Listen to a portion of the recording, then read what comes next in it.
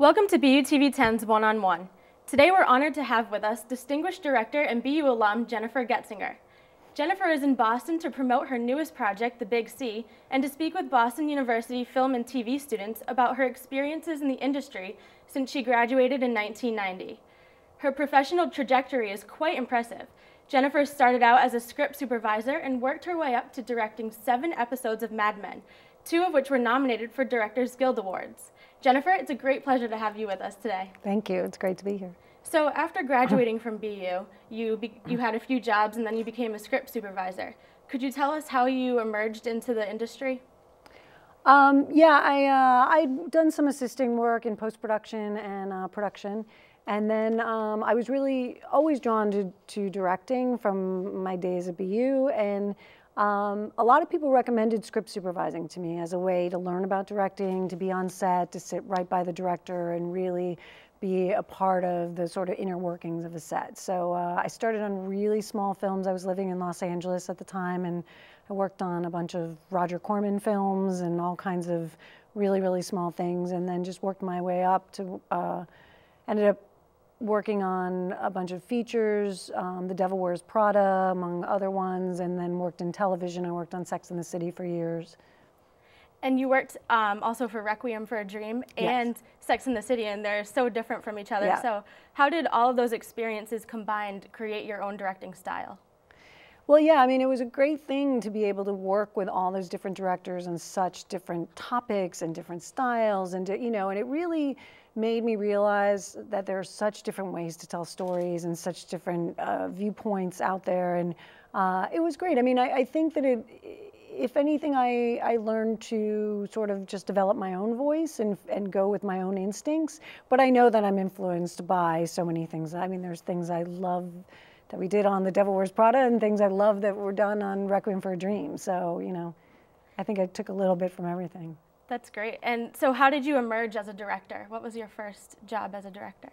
Well, my first professional job was actually on Mad Men, which is a little bit crazy because it's such an amazing place to start. But uh, I've been really trying to move into um, episodic directing for television for a long time. Um, and luckily, uh, Matthew Weiner, who's the creative, uh, creative producer, creator, and executive producer of Mad Men, he really believed in me and he had seen a short film that I did and really, you know, felt that I was ready and felt that I really understood his show and he gave me the shot. So it was season two of Mad Men, which was really a great place to start. Yeah.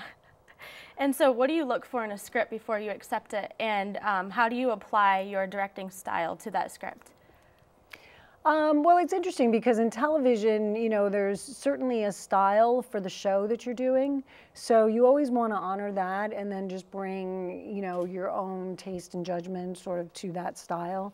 Um, luckily with Mad Men, it's very much my style too. I mean, the acting style, the shooting style, all of it is, is very much the way I, you know, represents the kind of shooting I love to do. So it's easy for me to direct that show, I think. It just fits my taste very well. And so Mad Men focuses um, on how it's a male-dominated world of advertising in the 60s, and then there's also very important female characters in the show. Mm -hmm. Have you been able to relate to that as a female director in a male-dominated role of directing? Yeah, definitely. I mean, I think that uh, yeah, it's strange that in 2012, you know, being a female director is still a very rare thing. I mean, oftentimes I go on to direct an episode of a show and I'm the only female director for that entire season.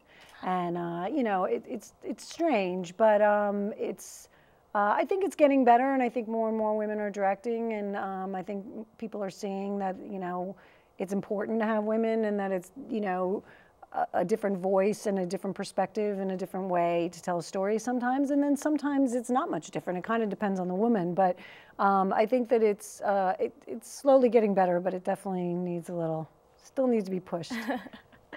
and your latest project is The Big C, starring Laura Linney. Can you yeah. tell us about that and uh, why you decided to direct it?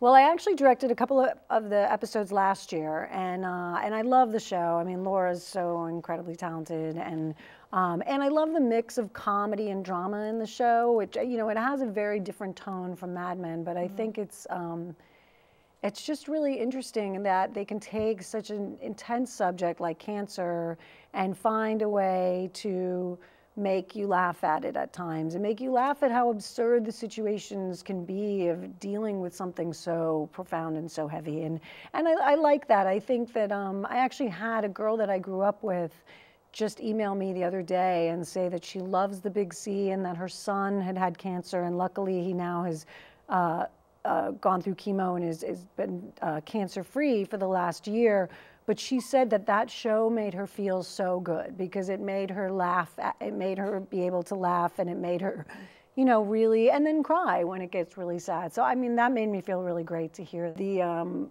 executive producer, Jenny Bicks on the show is a cancer survivor as well. And so, you know, I think that she's very sensitive to when and where you make jokes and when there's times to really, you know, deal with it in a more truthful, emotional way. Mm-hmm.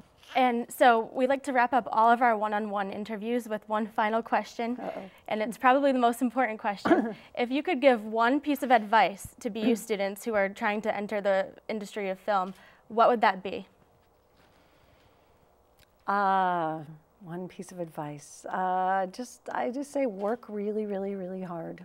I mean, that's kind of I feel like all you can do, and don't you know, go out there and concentrate on trying to be an overnight success or be some big, you know, have some big flash, you know, of a career. Because I don't think that those are the kinds that last. I mean, I think that film and, and television are, is an exciting career, and I think that you just have to work really hard and kind of learn as you go and enjoy the process of, of every you know everything you can be a part of. I mean, I loved working on Requiem for a Dream and The Devil Wears Prada and all the projects that I worked on, even though I wasn't necessarily doing the position I wanted to do. But I had a great time and I learned a lot, and I think it's made me a better filmmaker. That's excellent advice. Thank you. and thank you for joining us today, and good luck with your future endeavors. I'm sure you're going to be directing a lot more that we see. Um, so this wraps up this episode of BUTV 10's One on One.